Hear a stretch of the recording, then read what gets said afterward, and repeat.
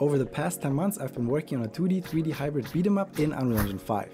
My last devlog got a lot of attention and had many people praise the way the game looks, even though I was basically just ranting about sockets for 5 minutes. But I gotta let you in on a little secret. As it stands, the game is not fun to play. For this project my main focus was on finding the limits of Paper 2D and making interesting devlogs and tutorials for YouTube. So instead of fixing bugs and refactoring, I just jumped straight into the next big and exciting task, which led to my game becoming more and more unstable over time. There are some glaring issues such as my character soft locking sometimes when attacking, the combo attack not going to the next move correctly, enemies becoming invincible, and the lack of an input buffer made the game feel stiff overall. Also I applied some changes to the look of the game over time that actually ended up making it look worse, such as zooming in the camera more and getting rid of the depth of field. So in this video I'll work out a lot of those issues to get the game back into a stable state and reignite my passion for this project. The first quick thing I took care of was zooming out the camera again. I thought bringing it closer would make things easier to see, however I really like that miniature look you get by having the camera further away and think this makes the game look more unique. But I'll probably keep on experimenting with fine tuning the exact distance. Then I added a subtle depth of field effect right in the camera's blueprint, so it'll be active on all maps without me having to set it in the post-processing volume each time. I then went on to finally take care of the sprite scale. So far I just set the sprite scale in the character blueprint, however there's actually a better way to go about this. I can simply use the pixel per unit settings on the sprite, which is actually a lot more consistent and will help prevent some weird bugs, since the scale isn't just decided by the blueprint. And if you use the same pixel per unit settings for all your sprites, it'll ensure that you have consistent pixel sizes for all of your art. After that it was time to clean up the animation graph. The warrior character has quite a lot of attacks and having to create multiple transitional conditions quickly turned the animation blueprint into a mess. In 3D games we'd usually use animation montages for one-off animations like this, which keeps the animation graph clean. And as it turns out, there's actually something similar in Paper ZD called jump nodes. A jump node will allow us to force a new animation state simply by calling a function from a blueprint without having to go through any transitional conditions.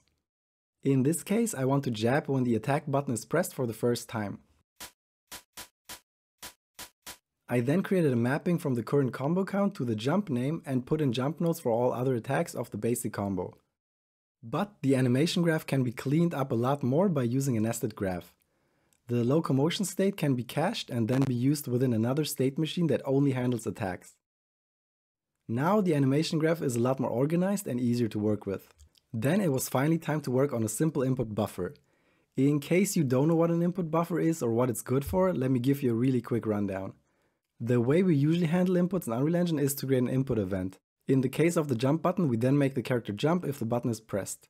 However, what happens if we press the button even a millisecond before our character lands on the ground again? Well, since it's airborne the moment we press the button, it can't jump and nothing will happen. An input buffer will basically remember our input for a set amount of seconds or frames and apply it when it makes sense. When we have an input buffer of 0.2 seconds for example, the character will jump the moment it lands, even if we press the button a little bit too early. The same concept can then also be applied to attacks to allow a smooth input for chain attacks. Eventually I also want to have a buffer for directional inputs so I can possibly have some advanced special moves similarly to Fight'N Rage. However that gets pretty complicated to set up so for now I'm happy with my simple input buffer, since that already makes the game feel so much more responsive. You might remember a previous video where I set up the combo attack system. The whole system was actually pretty hard to figure out and I'm still having some bugs with it, such as the attack chain not going into the next move correctly sometimes. To once and for all get rid of these issues, I decided to turn the combo system into a component and extract it from the character blueprint. I basically just had to bring over all the variables and functions and then call them through the component. This cleanup process alone let me find all of the issues with the system much easier and will also make it more future-proof. Playing the game and having the combo get stuck was super frustrating, so I'm really happy to have finally fixed this essential part of the combat system. I then took another look at the screw system, which I implemented together with the knockback. The issue with it is that it only really works for characters that have the pivot in the middle, like the sandbag.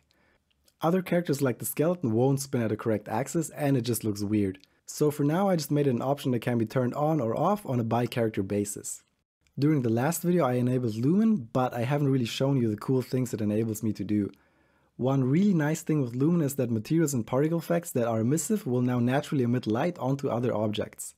This can create a really cool look together with pixel art and the normal map setup which I have, especially in dark areas.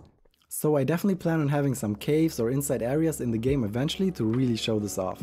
In the next video I'll take care of another part of my game that currently isn't fun, which is the enemy AI. So make sure to subscribe and hit the bell icon to get notified when the video is out. As always, thanks to my amazing patrons who support the creation of these videos.